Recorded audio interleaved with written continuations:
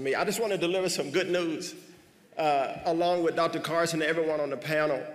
You know, oftentimes you don't hear about the work of opportunity zones, but the Tax Cuts and Jobs Act that the president signed into law in 2017 created the Opportunity Zone Initiative. And the president created the Opportunity Zone Council. And that council was made up to take 18 agencies, 15 federal and three state and regional partners, and move in a singular motion to direct resources into our most distressed, vulnerable, forgotten communities. And with this, and that is, it's a tremendous time. And so our agencies on the council direct these uh, uh, resources. We found 270 action items to go directly into distressed communities to help the vulnerable people of America. And we've built tremendous coalitions, partnerships on the ground. We've been to over 60 cities I've been to every one of them over the last year to visit people on the ground, education leaders, faith leaders, community leaders, business leaders, elected officials, Democrat and Republican. See, the thing about poverty, it doesn't care what party you are. The thing about revitalization, it doesn't care what party you are.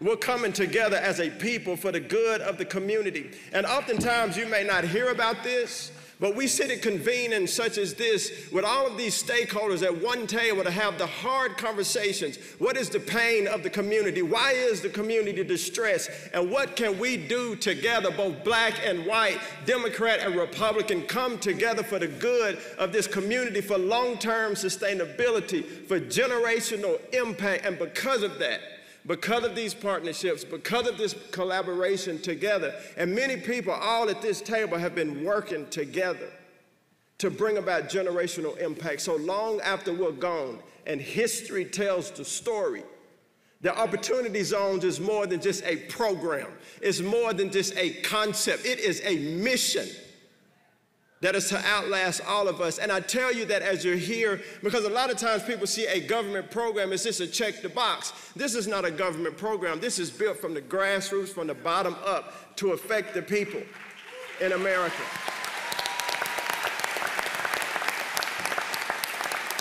And lastly, Mr. President, I would say tens of billions of dollars have been invested inside of opportunity zones, public private partnerships.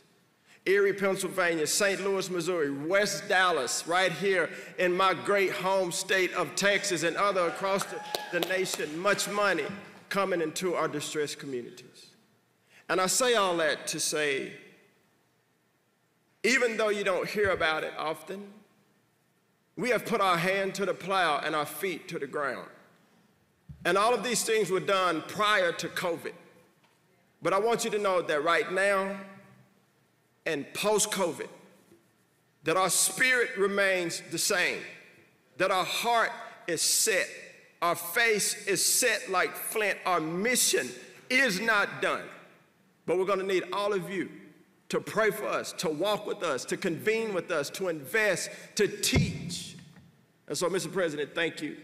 Dr. Carson, thank you. And to all of my colleagues at the table, thank you for your support. It's been a great honor.